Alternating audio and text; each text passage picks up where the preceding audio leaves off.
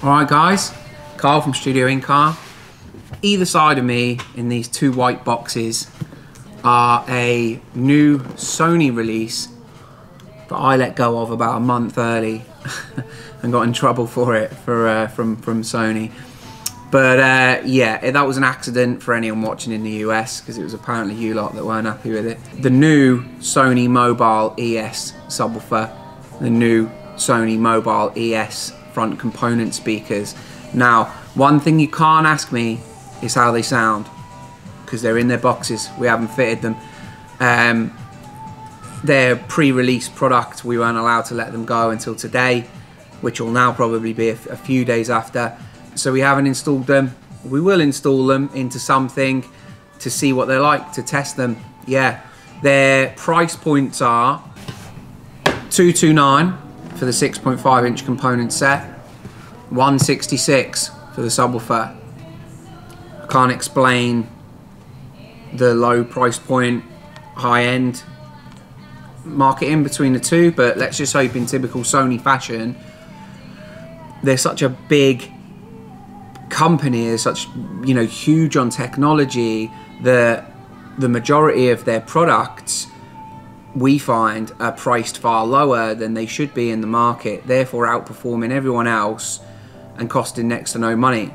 Now, typically not what our business is about, but if we can provide a product that has uh, a substantial benefit over a more expensive product, i.e., it's better at its price point, or sorry, it's better at the higher price point than that product, we'll use it. That that's that's just what we do. So let's have a look at them, sub or let's have a look at the speakers first. Like I said, this is a white box pre-release product, so um,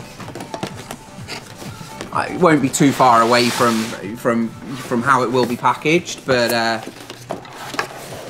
I'd imagine it'll have Sony all over it and some emotional pictures of speakers.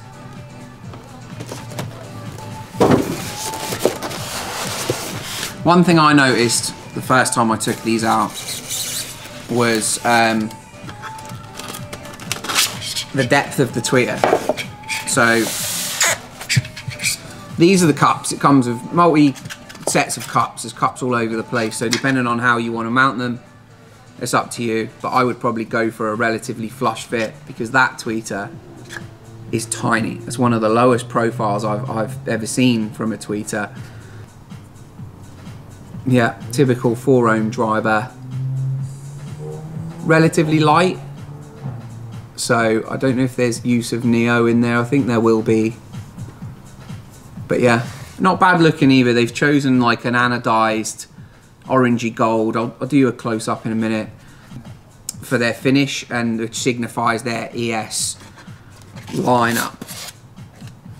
That's their uh, mid-bass grill, so that pops off. That's just for carriage, of course. And uh, that's the driver there. So they've got this sort of slashed roll edge um, which they say all sorts about in their marketing, which I'll link to down below. Proprietary cone material. They've got plenty of cooling around the driver and it comes back through the spider there.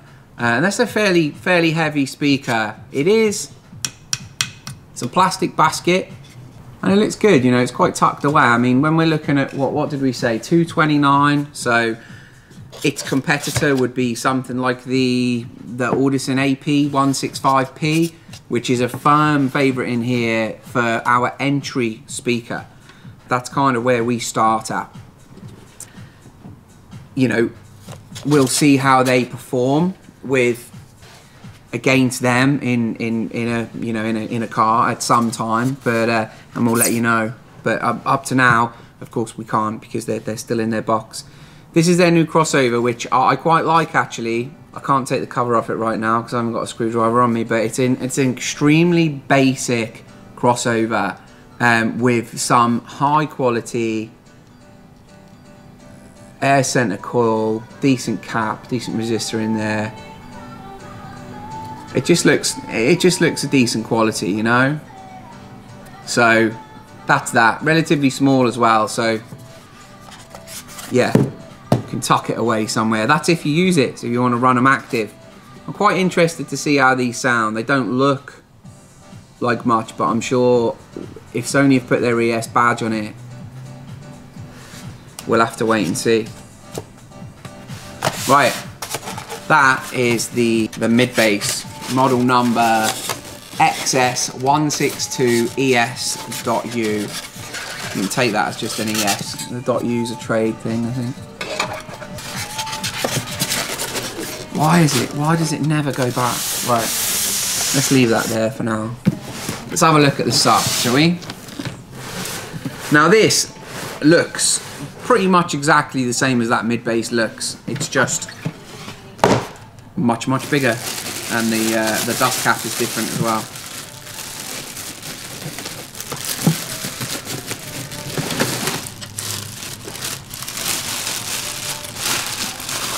Got that in one hand.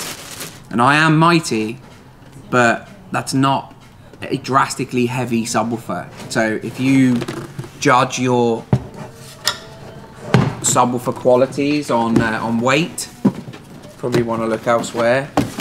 Really be doing that. Not not now, 2021. Things are lighter. Things can have lower resonant frequencies and not be the heaviest things in the world. You know, once it's strapped down, it'll get a fair bit more rigid. Now this trim looks like it comes off. That's the driver. That's its side. They have some form of funky name for this five step thing. Again, the air cooling through the outside of the magnet section there, pulls it through and goes back through the former.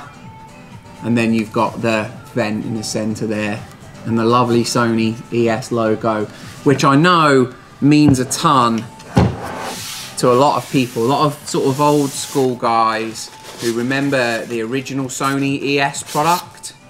It was held in, in, in very high regard. I mean, I, like I say, I can't necessarily give you a review on the product. I can only suggest that its price point doesn't put it in the bracket of the older Sony ES stuff, which was quite expensive and particularly high end. What I think is that um, they've put the ES badge on the product. They've done a lot of work, you know, to the drivers, and there's a lot of technology in there. Um, I'll be very interested in products at the same price point and a comparison between the two, because I imagine in, like I say, typical Sony fashion, they're going to be be way beyond their price point in terms of performance. So yeah, I uh, you're gonna have to wait for that one because I, I cannot fairly tell you what I expect or how things are gonna sound right now. But they certainly look and feel high quality. You know, they're light, yes. They're a sort of poly plastic material, yes but you have to bear in mind their price point. Their price point, this is £166. Alright, I'm, I'm not entirely sure, but I think that puts this subwoofer as the least expensive subwoofer that we sell or that we have on our site. So therefore to judge it by its peers is, is not fair. This on the other hand, at 229 sitting there with things like the Audison AP165, APK165P, or the I can't remember the Hertz model number, but they've got a component set in that range as well. Focal have got component sets in that. I think the Flax range will be around there, the top end of the Access range. I can't really remember, but there is extremely stiff competition at 229. So I'll have to plug them in, I'll have to wire them up, and I'll genuinely let you know what I think. Good or bad. But anyway, that's the brand new Sony Mobile ES. There's a couple of other things that we, we would probably not really take into into the workshop for installation things like a 6x9 driver and stuff like that you know we, we just don't usually have need for them but they have a need to, to provide that to their sort of larger clients so we didn't get all of it but we, we you know we've got these sets here to work with. We'll put them on a decent a half decent, maybe go for something Class D-ish, a little bit of DSP in the amp, so something around the five or six hundred pound mark that isn't going to ask tons of them and should have its own sort of performance benchmark, and we'll we'll kind of go at it from there. But yeah, that'll be video number two, which will be in a little while.